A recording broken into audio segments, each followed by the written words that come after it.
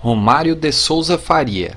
Atualmente é senador, tendo sido eleito pelo estado do Rio de Janeiro. Antes de ingressar na carreira política, o ex-atleta era um atacante reconhecido internacionalmente. Romário nasceu no Rio de Janeiro no dia 29 de janeiro de 1966. Os primeiros anos da vida de Romário foram duros. O jogador nasceu na favela do Jacarezinho e teve muitas limitações financeiras.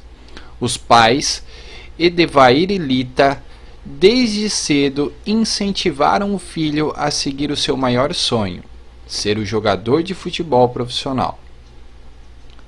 Conhecido como baixinho, devido à sua estatura de 1,67 metros, Romário começou a jogar no Estrelinha, um time de futebol amador montado pelo seu pai em Vila da Penha.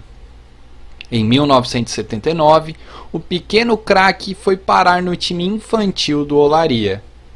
No primeiro ano em que competiu, já se destacou do grupo, se tornando o artilheiro.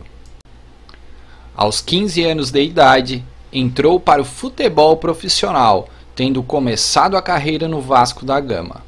Logo depois, seguiu para times internacionais, regressando aos campos no Brasil somente em 1995 pelo Flamengo. Em 2000, foi a vez de retornar às origens, voltando a jogar no Vasco. Cinco anos mais tarde, Romário foi para o Fluminense Futebol Clube. Em 1988, o jogador foi comprado pelo PSV pelo maior valor que até então havia sido realizado no futebol. A transação foi feita por 6 milhões de dólares. Durante a sua temporada no clube, foi artilheiro em duas ligas. Em 1993, Romário foi transferido para o Barcelona, que o contratou por 4,5 milhões de dólares. Lá, conquistou o campeonato estadual e se tornou artilheiro. Romário estreou na seleção brasileira em 1985, nas categorias de base. Ele foi campeão sul-americano sub-20. Três anos mais tarde, entrou para a seleção profissional. Em 1993 e 1994, foi destaque da seleção brasileira em 1994, venceu a Copa do Mundo e foi eleito o melhor jogador da Copa e o melhor jogador do mundo pela FIFA. Após o Tetra, Romário voltou ao Brasil pelo Flamengo em 1995. Na equipe, foi artilheiro dos estaduais de cinco anos seguidos. Conquistou a Taça Guanabara, a Taça Rio e a Copa Ouro. Nos anos 2000, Romário decidiu voltar ao Vasco, clube onde ele foi um dos maiores ídolos da história. Nessa segunda etapa, conquistou a Taça Guanabara de 2000, Taça Rio de 2001, além da Copa Mercosul e Campeonato Brasileiro em 2000.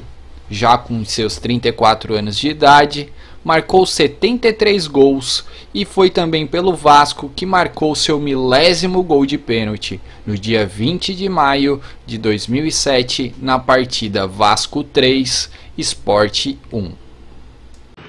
Claro, a responsabilidade é muito grande. Dois minutos segundo tempo. O Brasil inteiro acompanhando. Vai sair o milésimo, vai sair o milésimo! É o milésimo gol do